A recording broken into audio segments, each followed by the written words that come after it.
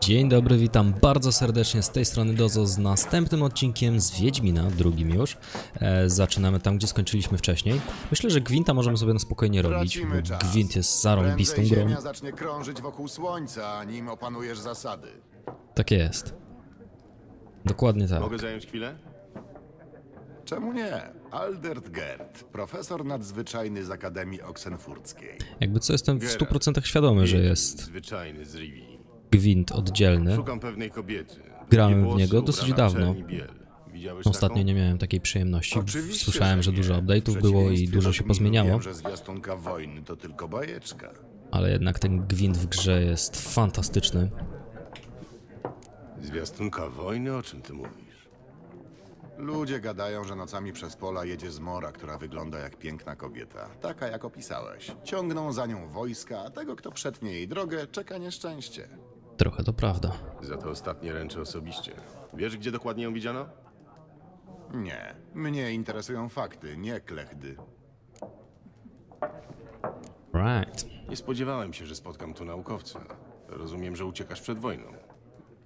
Wręcz przeciwnie, jadę na front. Życie ci niemiłe? Milsza od życia jest mi wiedza, a nie zdobędę jej siedząc między księgami. Chcę zobaczyć inwazję Nilfgardu na własne oczy, zrozumieć ją i opisać. To będzie moje magnum opus.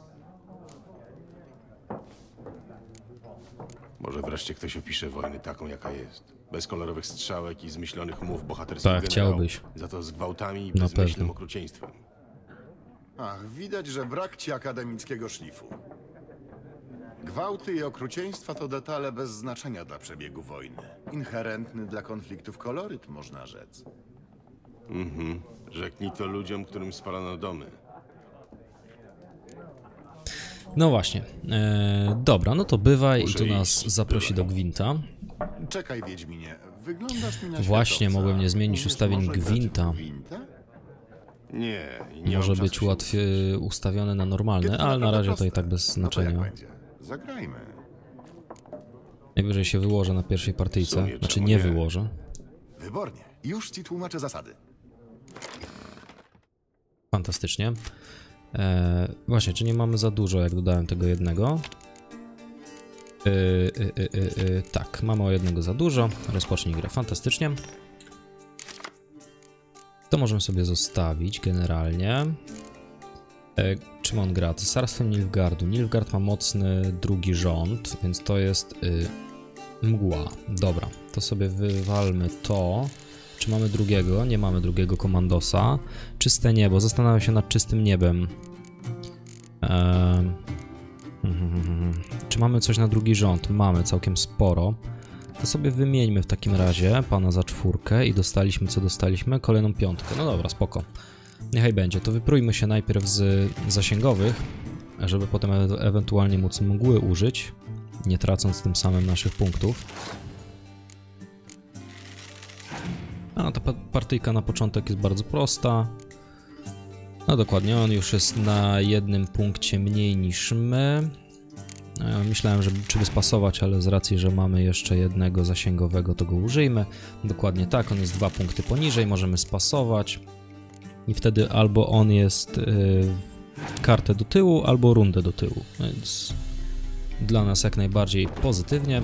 Ok, jest kartę do tyłu, nie ma problemu żadnego. Przewaga kart w gwincie wygrywa grę, praktycznie każdą, więc e, nie mam zamiaru tego nie wykorzystywać. Użyjmy sobie tego. E, Użyjmy sobie pana od oblężeń. Możemy wskrsie- wskrzesić jeszcze piątkę na środkowy rząd. Aczkolwiek się zastanawiam nad tym, ale zróbmy to. E, piątka. Dzień dobry. Tym oto pięknym sposobem mamy 19 punktów, podczas gdy ma on 8. E, I raczej już nam nie jest w stanie zagrozić. Zaryzykujmy, mogę spasować. Zobaczymy, czy coś się tu stanie. Czyste niebo ma. Dokładnie tak, nie ma nic. O! Okej, okay, dobra, to tego nie przyjrzałem. Nie przeczytałem, jak się ten, e, jak ten lider, co tam robi, ten Emhyr. No trudno, bywa. No tak, to nie jest gra dla każdego. Wymaga Ryzyko. Ryzyk fizyk. Nie ma ryzyka, nie ma Jakbyś zabawy. kiedyś był w Oxenfurcie i chciał zagrać z prawdziwym mistrzem, pytaj o Stiepana. Niby prosty karczmasz, a w gwinta ogra każdego. Zapamiętam, dzięki. Na mord. Ja byłem przekonany, że nie będzie miał tej karty. A tu ząg. Mogłem policzyć. No trudno. E, przestawię od razu ustawienia. Czu, czu, czu, czu, rozgrywka. A nie, gwint jest na trudnym, okej. Siema. Szukam kobiety. Jak, Jak każdy. wszyscy. No, jak wszyscy, sorry. Nie, nie jak wszyscy. Ta pachnie agrestem i bzem. Ubiera się w czerni biel. Dwa sznapsy. Dwa To sztoki.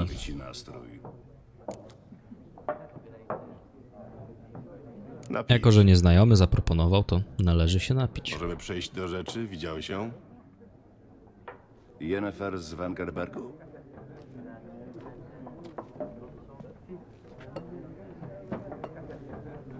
Mmm, dupka. Nie powiedziałem, jak ma na imię.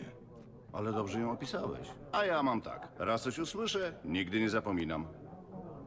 Dokładnie tak masz, kolego. Z kim mam Czym przyjemność? się zajmujesz? Kim jesteś? Parszywy przybłęda. Gaunter Odim. Do usług. Przybłęda to zawód? Kiedyś handlowałem lustrami, więc wesoła gawieć ochrzciła mnie też panem lustro i szklanym człowiekiem. Skąd znasz Jennifer? Też pytanie. Z ballad mistrza Jaskra. Dla biednego handlarza to jedyna okazja, żeby otrzeć się o wielkość. No, chyba, że ma się tyle szczęścia, co ja. I trafia się na bardzo cierpliwego Wiedźmina. Na samego Geralta z Rivi, rzeźnika z Blaviken. Aż dziw, że Geralt się nie zorientował, że Gaunter będzie wiedział, kim Przepraszam, on ale jest. muszę o to spytać. Czy tu chodzi o miłość? A nie interesuj się. Nie twoja sprawa. Racja. Przy błędzie nie musisz się tłumaczyć. Mów co wiesz. Zanim się nie Spoilerować pojawiłeś, nie do będę, głowy ale mi nie przyszło, że Jeszcze to się z. Gaunterem spotkamy. Wtedy pomyślał. Do rzeczy. Zwiadowca z Nilfgarskiego garnizonu ją widział. Gdzie? W ich obozie wpadła tam w środku nocy. Czerń i biel, agrest i... Tak, wiem. Zamieniła kilka słów z dowódcą garnizonu i pognała dalej. Gdzie?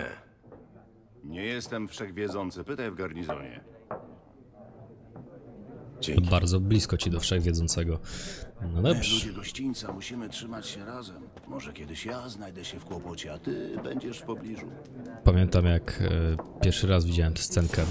Jak Geralt wstał i się odwrócił i go nie było. I tak mówię, o, coś tu im nie wyszło. Coś chyba za szybko wyszedł z tej karczmy. Już sobie wypiłeś? A to było dosyć zaplanowane. Się później okazało. To wypierdalaj. Zresztą było takie delikatne wrażenie, że Nie chcemy tu takich jak ty. on jest wyjątkowy. Nie, uspokój się kolego. Wam nie zrobiłem, uspokój się. Racja, nic nie zrobiłeś. Już z gusłami zaczyna skurwysyn. Na niego! Oj nie, prój się. O, serio? Nie zaatakowałem go od razu. To dziwne.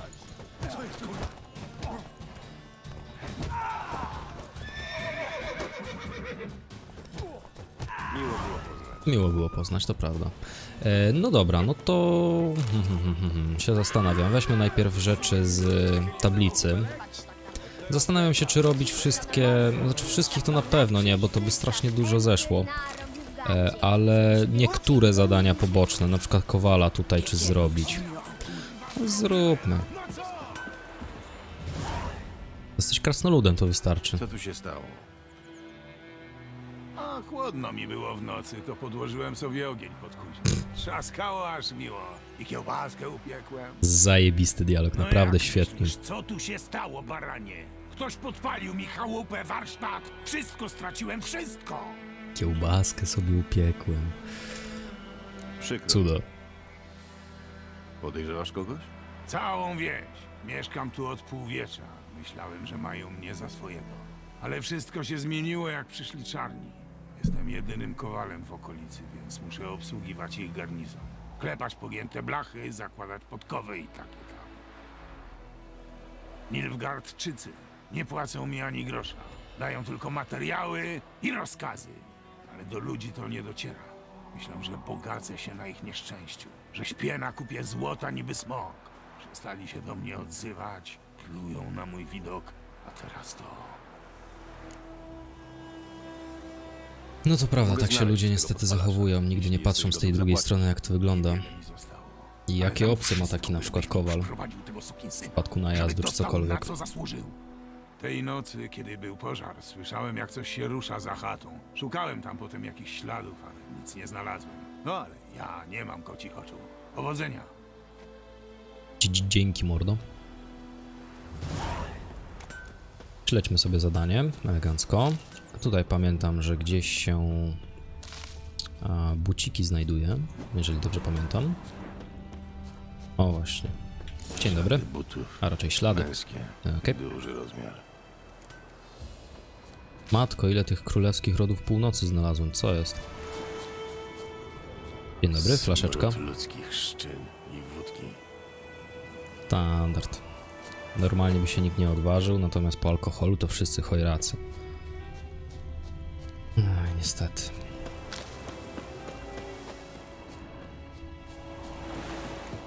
Dobry. Wszedł sobie do wody. Z racji, że y, wiem gdzie wychodzi, to może ominę ten, Coś wyskoczyło ten mostek w ten sposób. Utopce, ale zdołał uciec.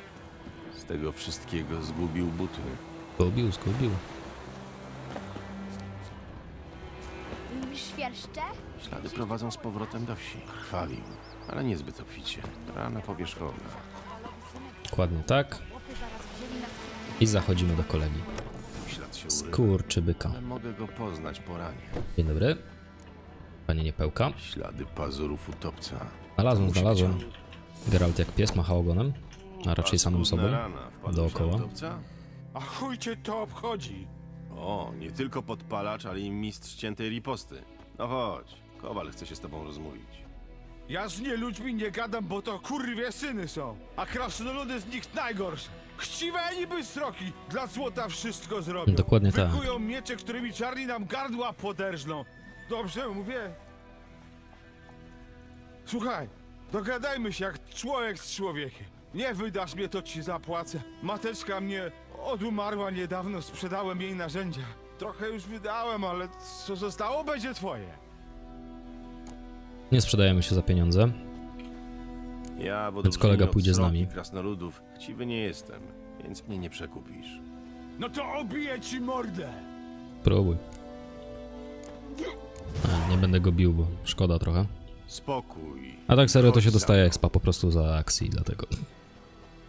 Nie no, pokojowe rozwiązania zawsze lepsze od, od niepokojowych.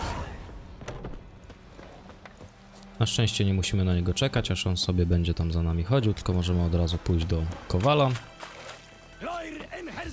Dzień dobry, panie Kowalu. Znalazłem kolegę pańskiego. Pobudka! Co jest? Proszę, oto wioskowy piroman we własnej osobie. Nie pełka? Ty? Nigdy od twojej matki grosza nie wziąłem. I tak się odwdzięczasz? Dość tego. Hola, żołnierze, pozwólcie! Nie, Willy, błagam, wypiłem! Nie wiedziałem, co robię! Mówiłem wam, mistrzu Willi, pomożemy w odbudowie, jak dostaniemy posiłki. Materiały już zamówione. Nie o to chodzi. To podpalacz. Wiedźmin go złapał. Ta kuźnia była kluczowa dla garnizonu. Jej zniszczenie to sabotaż. Więc obejdzie się bez sądu. Na drzewo z nim.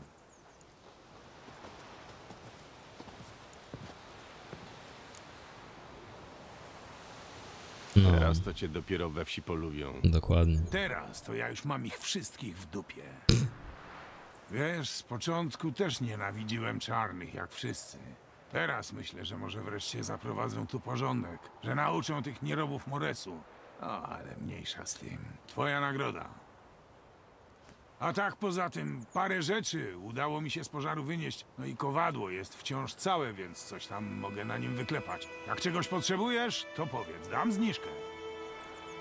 No właśnie, takie proste, króciutkie zadanie poboczne, a już ile kwestii porusza, że znajomy chyba tego Kowala w ogóle, znaczy rodzina znajoma z racji tego, że matce nigdy nie, nie, nie zabierał ani grosza, jak to powiedział. Więc e, wcześniej rodzina zaznajomiona z nim. Teraz przez niego skończył na, na szubienicy za coś, co zrobił po pijaku. Kara wydaje się być surowa i tak dalej. Ale znowu puścić bezkarnie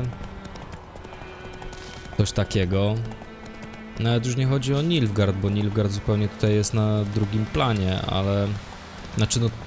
Nilfgaard w sumie jest przyczyną całej tej sytuacji. A, sorry, pod Z mam zejście. Bywa i tak. Dzień dobry, panie Wilcy. Także to nie jest takie czarno-białe, jakby się mogło ludziom wydawać. Żadna sytuacja tak naprawdę nie jest czarno-biała. A przynajmniej większość z nich.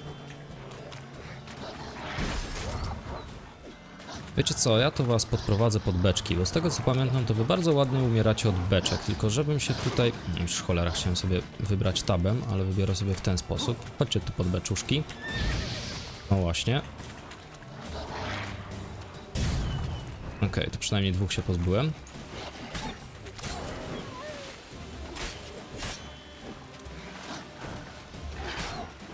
Dzień dobry, do widzenia. Żegnam Państwa.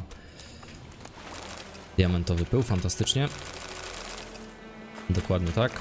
To nam się przyda do zrobienia lepszego płotka, chodź tu. Do zrobienia lepszego miecza stalowego.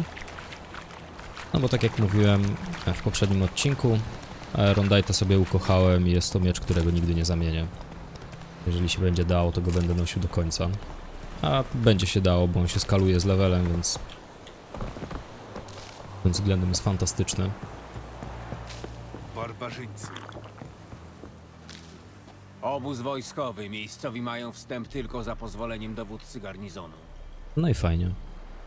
A wyglądam ci na miejscowego? Wyglądasz na kogoś, kto sprawia kłopoty.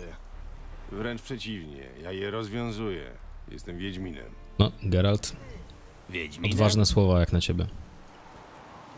Kapitan Peter Sar Gwynlew jest w wieży. Za bramą w prawo.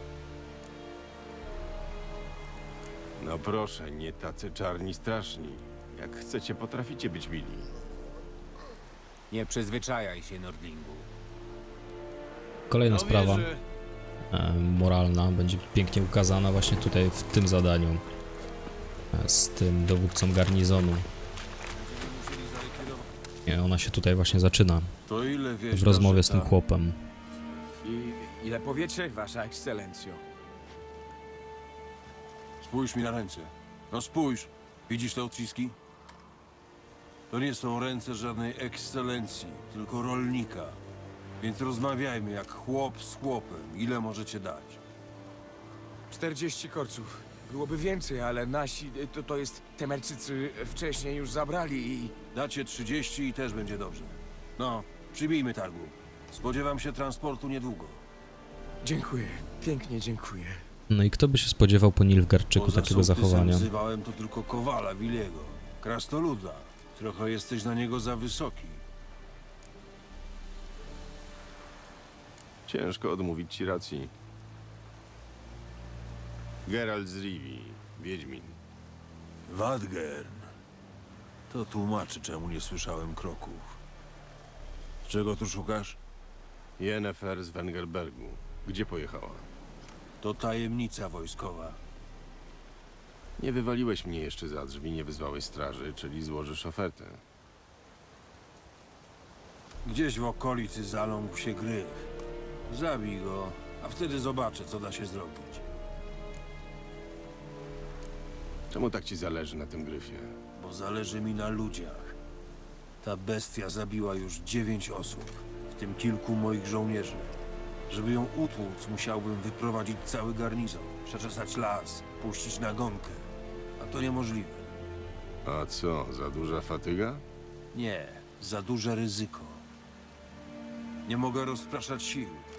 Wojska temerskie zostały rozbite, ale ludzie tylko czekają, żeby chwycić za broń. W sprawie Gryfa mogę więc albo siedzieć z założonymi rękoma, albo nająć profesjonalistę. Jeden mądry.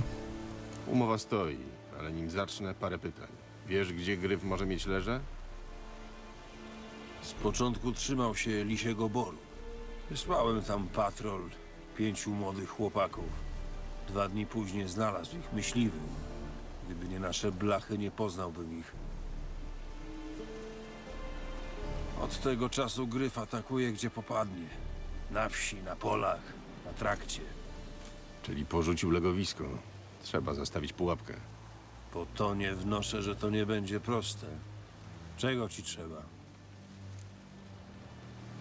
Muszę zdobyć pewne zioło na przynętę. Szakłak. Gryf wyczuje jego zapach z 10 mil. Sza... szakłak. Pierwsze słyszę. Ale nie jestem jeszcze zbyt biegły we wspólnym. Mhm. Najpierw pewnie opanowałeś podstawowe zwroty. Ręce do góry, egzekucja. Bardzo ładny. Nie. Najpierw były powiedzenia. Na przykład nie igraj z ogniem. Idź do Tomiry. To zielarka, mieszka przy rozstajach. Pokieruje cię. O dziwo, Geralt jest tu... Potrzebuję więcej informacji. Znaczy w ogóle Geralt, bo też w, na w książkach przecież jest strasznie uprzedzony do Nilfgaardu. Świadków? Nie powiedzą nic ponad Przyjmuje taką niezwykłą opozycję w stosunku do. Nilfgaardu. Mimo, że w książkach było to bardziej uzasadnione. Tutaj to wygląda rzeczywiście na... wyglądają na bardziej ludzkich. Pod samym lasem. Pomocny człowiek. Chociaż nieco dziwny. No dobra, no to lecimy w takim razie. Dzięki. A druga sprawa, że Szakłak pewnie już zebrał mi mod Autolut. Mogę nawet sprawdzić. E, sprawdźmy w takim razie. Mm, mm, mm, mm, mm. To będzie w alchemii raczej. No tak, tylko czy ja znajdę tu Szakłak. Powinienem dostać już w sumie mm, przepis na coś. Szakłakiem. Nie było czegoś na gryfa z Szakłakiem? Chyba nie. Kurde. To nie będę wiedział, czy, czy zebrałem ten szakłak. A nie, tutaj przecież będzie, racja. No, Ale teraz weź znajdź ten szakłak. No Nie pamiętam jak on wygląda za bardzo. Są takie roślinki, jej chyba tutaj nie ma. No, nie ma. Dobra. Ale to wystarczy, tak jak mówię, podejść do rzeki i ten mod nam zbierze, bo szakłak jest na dole rzek. Czy raczej zbiorników wodnych. E, Mam też moda na nieśmiertelność ze spadania z góry, bo uważam, że jednak Wiedźmin miałby trochę więcej wytrzymałości aniżeli Geralt w grze, bo śmierć z, nie wiem, dwóch metrów to jest śmieszne jedynie.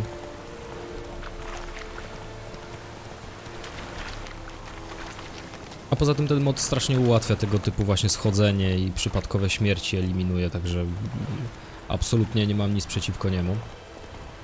To jest kolejny mod, który mam ściągnięty. Mam jeszcze mod, który e, sprawia, że e, że bronie mi się nie niszczą ani pancerze. No chodź tu mordo. O, na dwa hity utopiec poszedł. Ile ja tych królewskich rodów północy podniosłem? Co jest? Czemu mi się to cały czas wyświetla? Dzień dobry. Tak jest. Dostaniemy zadanie, gdzie skrytka znajduje się przy wiatraku. No niestety te zadania z zapytajników, e, poza tym, że mają tą wersję e, z napisami, z jakimiś listami i tak dalej, mm, to się w żaden sposób nie rozwijają i może inaczej. Niektóre, czy połowa e, tych zadań właśnie z zapytajników wygląda w ten sposób. Jest to jak najbardziej ok. Bo jest to jakieś tło fabularne, jeżeli ktoś chce przeczytać, to, to rzeczywiście często te historie są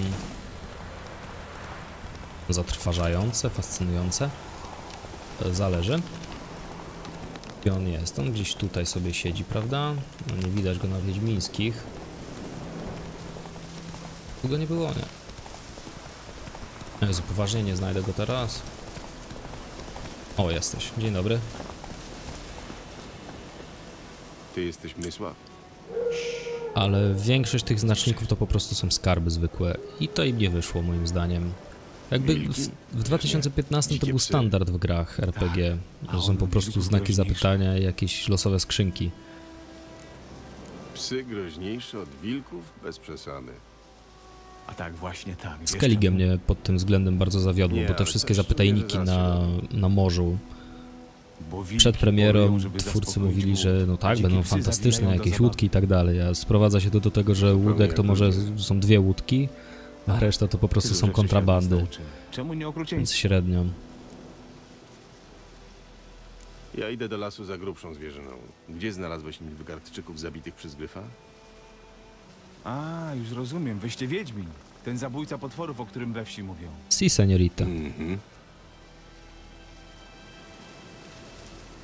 Wskażę wam drogę, a jakże, ale muszę ubić te kundle, nim komu krzywdę zrobię. Spoko, ubijemy je. Pomożecie? Znaczy, jeśli nie żal wam na nich tępić srebrnych mieczy. No co jak co, ale najgorszymi przeciwnikami e, w Wiedźminie Czemu nie?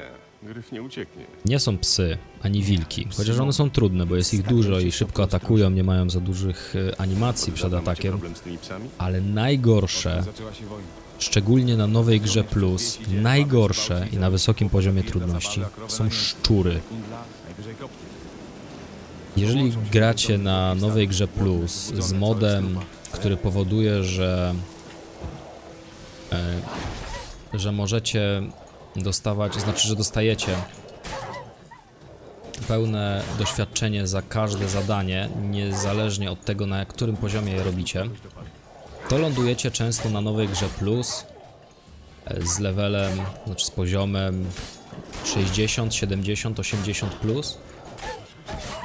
Ja pamiętam, że kiedyś chyba zacząłem nową grę plus koło właśnie 80 poziomu, samą nową grę plus. E, więc szczury były nie do zabicia generalnie. Nie dość, że szczurów było, jak wiecie, dużo, e, to do tego były nie do zabicia żadnym znakiem igni czy czymś takim, ani mieczem, a same szczury zabijały Znasz na go? dwa, trzy ataki? służyliśmy razem u dziedzica, tam gdzie teraz czarne wojsko stoi. On był stajennym, ja nadwornym myśliwym. Ale to było zanim... Oczywiście z Quesem, oczywiście z nieśmiertelnością, oczywiście To z drugim życiem. Także cztery paski zdrowia po prostu schodziły na 2-3 ataki. Zanim co? Oj, tam coming out tam zanim zrobimy. mnie wypędzono ze wsi. Co takiego zrobiłeś? Nic, jestem odmieńcem. Wybaczcie, nie chcę o tym mówić. Nie naciskam, uszanujmy. Nie naciskam. To jak? Pokażesz mi, gdzie znalazłeś tych Nilfgaardczyków?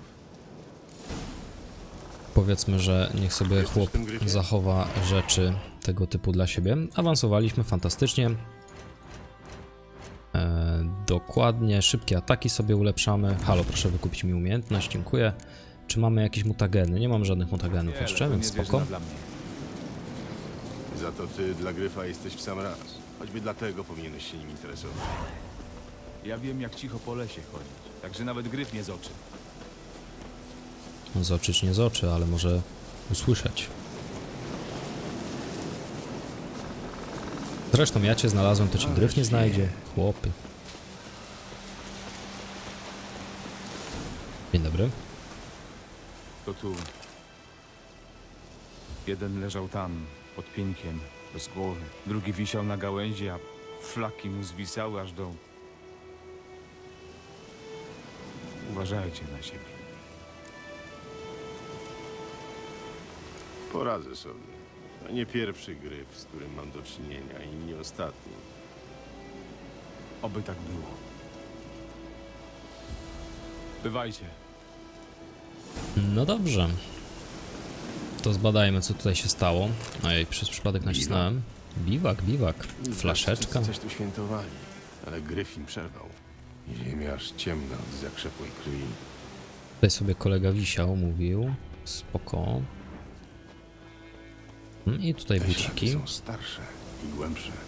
Ciężko zbrojni, pewnie Nilfgaardczycy. To jest skrzyneczka, ale już jest podniesiona przez nasz mod. Fantastyczny. Z racji, że pamiętam dokąd szli panowie, nie będę korzystał z wiedźmińskich zmysłów. Ops, dzień dobry. Czy raczej to, co z niego zostało? Ciało sprzed paru tygodni. Jeszcze żył, kiedy Gryf go tu przyniósł. I długo umierał. Dzień dobry, panie ptaku, Samica. Larwy w ranach zdążyły się a wypluć. raczej panicu. Jest martwa co najmniej od tygodnia. A drugi Gryf musi być samcem. Geralt detektyw. Chyba, że jest gejem, halo. Na całym ciele, a na pazurach idzie objanie śladów krwi. Raczej lesbijką. Musieli ją podejść jak spała. Krawędzie dzioba starte, siwe włosy w podszerstku. Miała 10-12 lat. Gryfy wiążą się za młodu na całe życie. Samiec musi być w podobnym wieku. Ciekawe, ciekawe, ciekawi mnie po prostu, ile by taki gryf, gdyby rzeczywiście istniał i rzeczywiście był zdolny do lotu, to ile by musiał ważyć? I jak duże miałby, musiałby mieć skrzydła? Najpierw dopadł Nilfgaardczyków. Tu Bo wiecie, ptaki mają Potem zaczął te grasować kości, całej które są okolicy. puste w środku, czy jakoś tak, nie, nie znam się za bardzo. Pora wrócić Ale do generalnie są bardzo lekkie, żeby mogły latać. A taki gryf, który no, jest olbrzymi, A mógł zrobić tylko człowiek. ile mógłby ważyć? Jakie musiałby mieć duże skrzydła? To jest ciekawa kwestia. Tutaj jest y, dokładnie tak, miejsce mocy. E, Dlaczego dwa razy nakliknąłem, kliknąłem E? A no właśnie z tego powodu, że jak się podbiega na sprincie do tych miejsc mocy i Geralt nie skończy animacji sprintu, mimo że puściliśmy klawisz, to czasami się buguje i można klęknąć, będzie cała animacja, a nie dostaniemy punktu. Także Geralt parkurowiec zeskoczył z 10 metrów i się nie zabił. Kto by się pomyślał? Kto by pomyślał? No dobra. E, panie Płotko, proszę mnie zabrać do Wesemirka. Możemy jeszcze w sumie tą zielarkę odwiedzić. E, tam zrobić jaskółkę. Po to zabiłem tego utopca tam przy moście, żeby dostać e, eliksir zwany jaskółką właśnie. Tylko nie pamiętam dokładnie, gdzie ona ma swoją chałupkę. Sprawdźmy na mapie. E, tu jest licho. A ona chałupkę może mieć nie tu, chyba tu ma. Czy zgadłem? Czy strzeliłem poprawnie?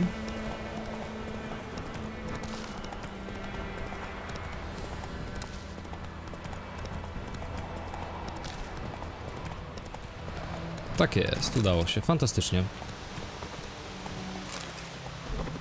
No, płotka. Ono tu. Dziękuję. Siema. Co tam? Tak? Właśnie, nie będziemy mieć w ogóle już rozmowy, bo zebrałem szakła gdzieś tam po drodze. Gryf ją tak urządził? Lenę? Tak. Dopadł ją jak szła nocą przez No las. cóż, szkoda. Nocą? Przez las? W czasie wojny? Umówiła się na schadzkę. Wiecie, młodzi. Z miłości zrobią każdą głupotę. Prawda? Rany się goją, ale i tak umrze. Krew zbiera jej się pod czaszką. Na to moje eliksiry nic nie poradzą. Mógłbym spróbować jej pomóc. Jaskółka leczy nawet wewnętrzne obrażenia. Ale Wiedźmińskie eliksiry nie są dla ludzi. ona i tak umrze. Tak, spokojną śmiercią, pod wpływem twoich specyfików. A jeśli podam jaskółkę i coś pójdzie nie tak, cała wieś będzie słyszeć jej wycie. Rozumiem. Zrobisz jak uważasz. Wiecie, no. W Bywa. takiej sytuacji ja jestem za tym, żeby spróbować. No, tu chodzi o ratowanie życia. Może się udać, może się nie udać. Zawsze jakaś szansa jest. Gorzej nie będzie, no może tylko umierać w cierpieniach, to prawda. Śmierć pewnie straszna, Mam ale eliksir dla Leny. To jaskółka.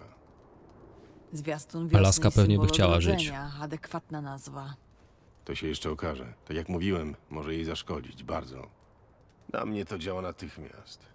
Ale ja mam szybszy metabolizm, u niej efekty wystąpią dopiero po kilku dniach. Czemu się w końcu zdecydowałeś? Uznałem, że lepsze to niż bezczynność. Podobasz mi się, Wiedźminie. powiedział Masz Wiedźmin, który powinien być podarek bezstronny i w ogóle. nie Nie, no w tym przypadku to akurat. Wydaje mi się, że na luzie. No dobra, no i w ten sposób odblokowaliśmy sobie jaskółkę. Jeszcze kolejny punkt możemy wydać. E, Zapomniałem, że są jeszcze te... Jezus. E, Są jeszcze mutacje związane z ekwipunkiem szkoły kota, a z racji, że jestem strasznie nastawiony na szermierkę e, i uwielbiam szkołę kota i w ogóle szybkie y, ataki i tak dalej, to, to lecimy w to jak najbardziej. Jakbyście nie wiedzieli, to właśnie za każdy element lekkiego rysztunku dodajemy 25% do obrażeń krytycznych i 5% do obrażeń od szybkich ciosów, także fantastyczny perk. No dobra, myślę, że w tym odcinku to już wszystko. Mam nadzieję, że się podobało. E, W ogóle nie powiedziałem na początku, ale jeżeli dotrzymaliście do, do, do tego czasu, to zachęcam do zostawienia łapki w górę, subskrypcji, odwie- odwiedzenia mojego Instagrama i mam nadzieję, że widzimy się w następnym odcinku. Dozo!